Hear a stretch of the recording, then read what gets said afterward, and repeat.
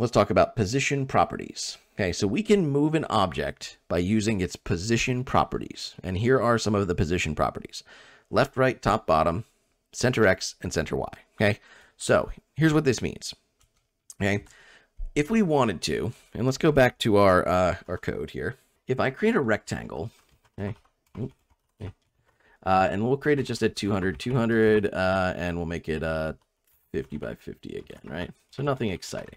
Okay, let's run this, and there it is. Okay, if I wanted to, I could move this rectangle uh, based on not just its, uh, you know, like its current coordinates, I like moving this 200 and this 200 and this 50, right? I can instead say, uh, well, let's create a variable. Uh, we're going to call this black rectangle, right? And if I wanted to, I could then call on my variable called black rectangle, okay? And I could call, say, let's make the top of the rectangle zero, okay? So if I run this, it's not really taking into account any of these things except to make sure that it's still like 50 by 50. It's not changing any of the original properties.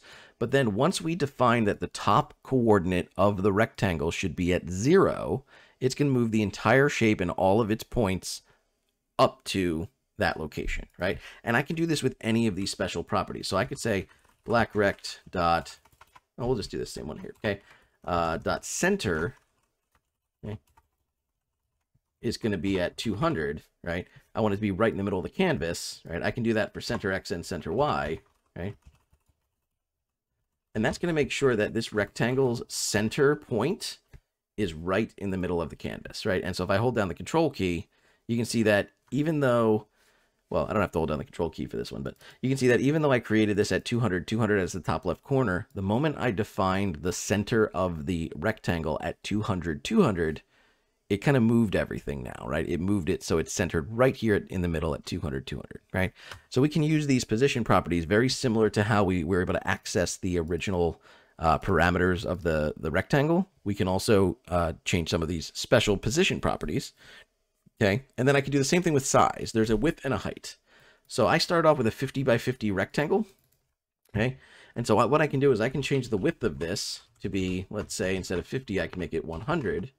Okay, let's get rid of this other one for right now. Okay, and if I run this now, okay, now it's creating something that's at 200, 200, the top left corner. Okay, it starts off as being 50 by 50, but I changed the size property of this rectangle to be, I'm sorry, the, the width to be 100 instead of to being 50, and it's creating now a, a wider rectangle. And then we also have what's called the align properties. Okay, so align is kind of weird.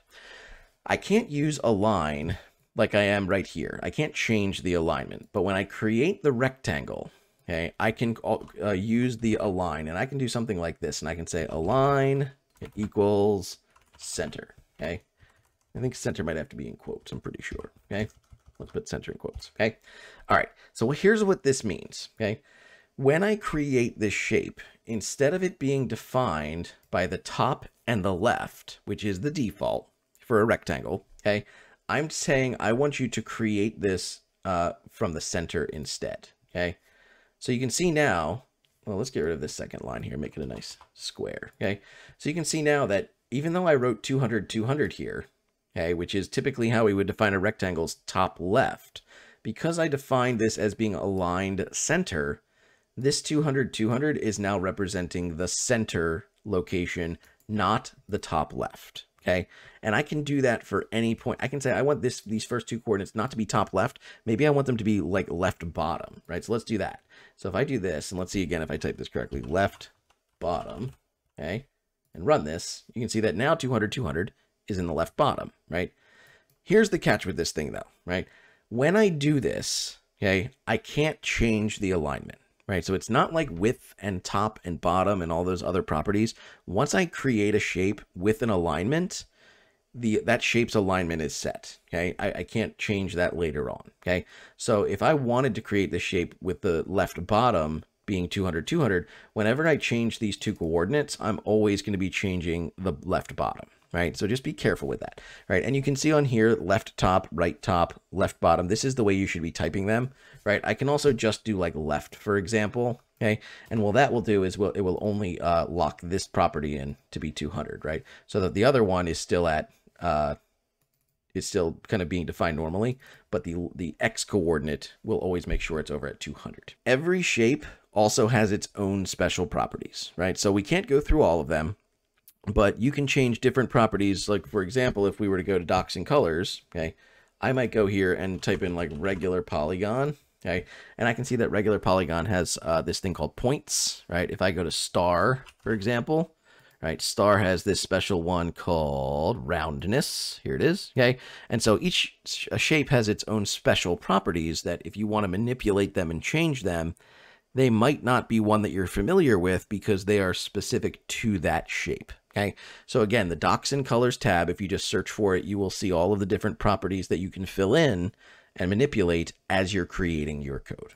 App properties. Okay, the app command is not something that uh, is not an object itself. Like for example, I use black rect here because I created a variable called black rectangle, right?